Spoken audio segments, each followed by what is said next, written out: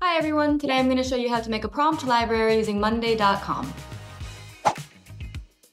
So first, I'm going to create a new board. I'll give it a name. Let's call this one prompt library. Here's our prompt library board.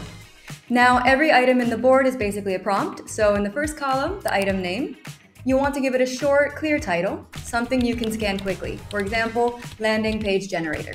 Next, add in a text column for the description and instructions.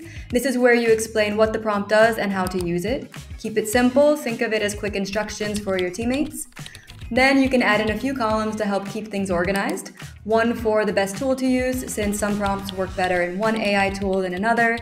Then a use case column for things like brainstorming, copywriting, or content repurposing a team column so people know which department it's for, and an output type, for example, is it going to generate copy, do an analysis, create a document, and so on. You can also add extras if you need them, a client field if you work across different accounts, a prompt owner so it's clear who maintains it, and even a rating system so the team can give feedback. And that's basically it. With just the title, description, the prompt itself, and a few categories, you've got a working prompt library. And that's it. As you can see, it's super easy to build, and once you've got a few entries in there, your whole team can find and reuse prompts without digging through endless chat threads.